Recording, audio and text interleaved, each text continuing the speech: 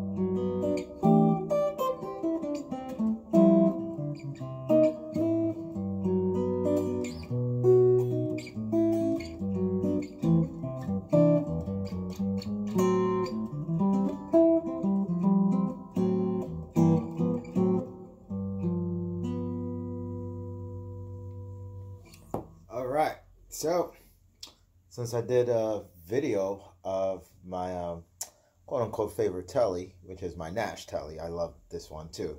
Um, so this one, I guess is I call it the baby that started it all. Not that it's the my oldest telly or anything like that. It's just it's an original. Um, I think that when you play tellies or even when you play um, Gibsons and then you end up playing a lot of different types of guitars, sometimes it's good to go to the guitar that started a lot of the replicas or um, a lot of the, the, the followers. So this is a 1994 Fender American Standard, um, and everything on this is stock. So um, whoever owned it before I did kept it in great position. Uh, um, it's in excellent, excellent condition. Okay. Um, I don't know if you can see this thing in here. When I bought it, I didn't even think this thing was 1994. It just looks so new, um, even to this day. It's very, very, very clean in and out. Um, typical uh, Fender specs, uh, maple neck, and there's this whole debate about whether or not maple necks get a brighter sound to um, uh, uh, rosewood neck or ebony necks for that matter. And, uh, you know, to be honest with you, I don't notice that big of a tonal difference. It just looks different um, from that perspective. But it's a 25 and a half scale, 1 and 11 16th nut, um, your typical Fender three-way position switch. Nothing funky on this thing, so there's no um, there's no four-way straight, uh, no what no four-way switch or anything like that. And um, I mean, the guitar plays really, really well. So um, it sounds like a Fender, plays like a Fender. Um, my one gripe about it is I'm not sure. I believe this is alder woods. I don't know. I don't even know which one weighs more, alder or ash. I guess it really depends upon the, the, the chunk of wood. But um, it is heavy um, relative to, to the Nash. I think my Nash is about seven and a half pounds. This has to be a little, at least a pound or two heavier than, than, than the Nash. And so, I mean, I played mostly sitting down, but I guess if I was gigging with it and I was standing up, that that might, uh, you know, take its toll. But anyway, why I like this guitar is it's a Fender. It's it's kind of like um, I love the fact that I have a Nash, but I want to have a Fender. Let's just put it that way. I want the real thing, and not that the Nash is a fake thing. I think you know, it's quite frankly, some of these um, it's not really a boutique maker with Nash, but I think some of these um, um, um folks who come after the original they do improve on it uh, unless you're trying to just get a budget guitar. So, I mean, it plays really, really well. This one is the only guitar I have right now that is not set up with flat wounds. This thing still actually has um, round wound 11s on it, but everything else, uh, the Nash, uh, my arch tops are, are strung Thomastik um, Infeld um, 13s, and these are not even 12s. These are 11s on that stuff. So, um, like I said, you can still get a fat tone out of it. Um, plays like a Fender. Um, sounds good, and um, I'm sure it takes pedals well, but I'm not playing through anything other than a little delay there. So, anyway, hope you like it. This is my baby, my 1994 Fender American Standard Telecaster. Thank you for watching. Bye now.